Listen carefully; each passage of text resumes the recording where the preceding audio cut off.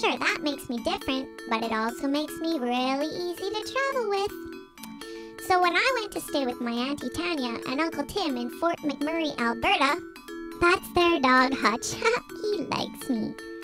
Anyway, they decided to bring me along on their African adventure to Tanzania. Why don't you come along? Here we go!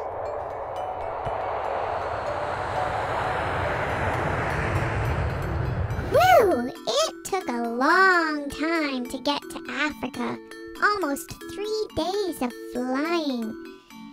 We landed in the capital city of Tanzania called Dar es Salaam, and boy was it hot.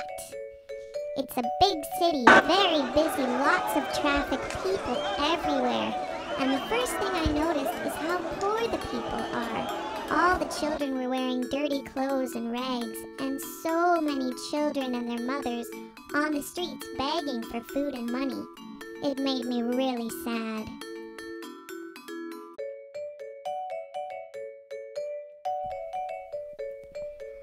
The very first thing that Auntie Tanya and Uncle Tim wanted to do when we got to Africa was climb to the roof of Africa, the tallest mountain on the continent, Kilimanjaro, 19,340 feet. Whew! It's a good thing that I'm flat Trinity because that's a lot of work and I fit real nice in the backpack. Uncle Tim had a really hard time climbing. He got very tired.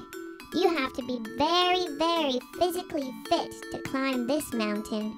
It's a lot of work. The mountain is so high that the altitude causes people to get really sick. We breathe oxygen, and that's what makes us have energy and makes us feel good. And the higher you climb, the less oxygen there is in the air, and you start to feel sick. You get a headache, you get a tummy ache, you get really, really tired. But Auntie Tanya and Uncle Tim made it to the very, very top at Uhuru Peak. That's me in the photo. Can you see me? Look real close next to the Canadian flag. There I am.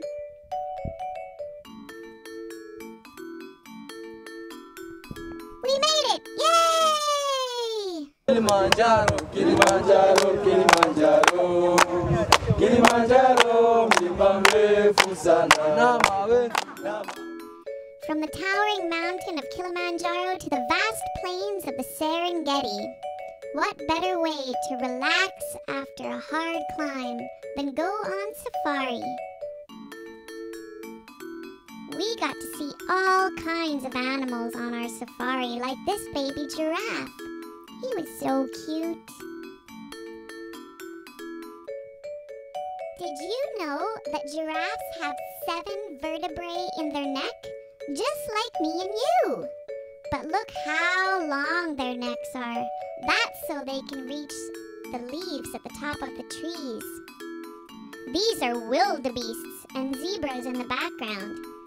Wildebeests are funny looking.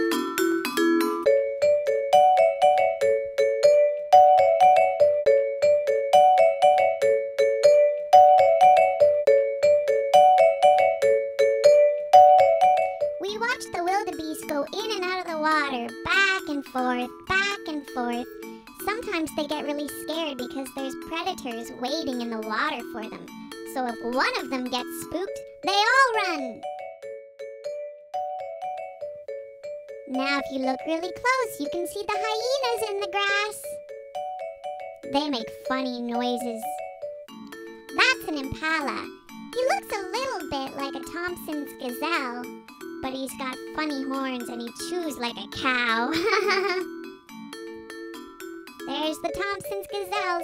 They were my favorites. They're so pretty. That's an eland. We were told by our guide that it's really rare that you get to see an eland, so we were pretty excited. There goes the flamingos! Guess what? There are more species of birds in the Serengeti alone than all of North America. Look at this vulture. He's posing for us. Vultures are scavengers, and they eat dead things. But we all have to eat. It's all part of the circle of life. Everything in Africa seemed big, like these ostriches, and this one, he looks like the Roadrunner.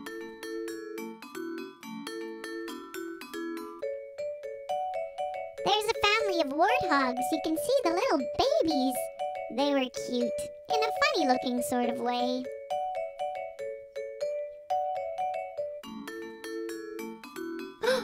Here comes the jackal! Look at them run! I'm just passing through, fellas. No worries.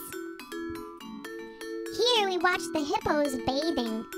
From far away, they look like big, huge boulders in the water, but then they move.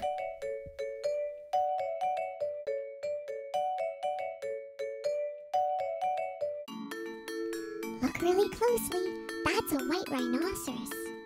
They're critically endangered now, but they're safe here in Tanzania. There's a black-faced vervet monkey. They're everywhere. Be careful, they like to throw things at you.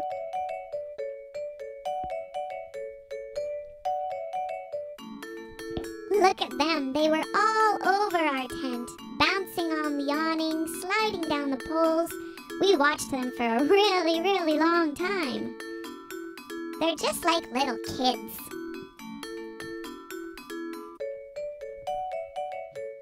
Almost everywhere you look, there's a family of elephants grazing. Look at this baby keeping cool with the grass.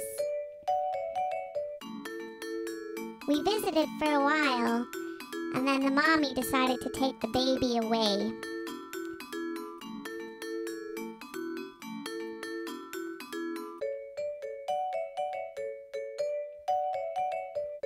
And then the daddy said, We better go away. No more visiting for today.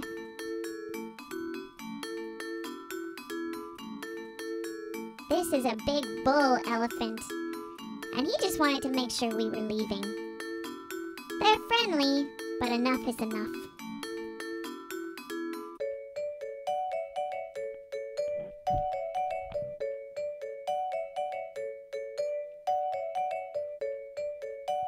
Hey, look who's catching a ride!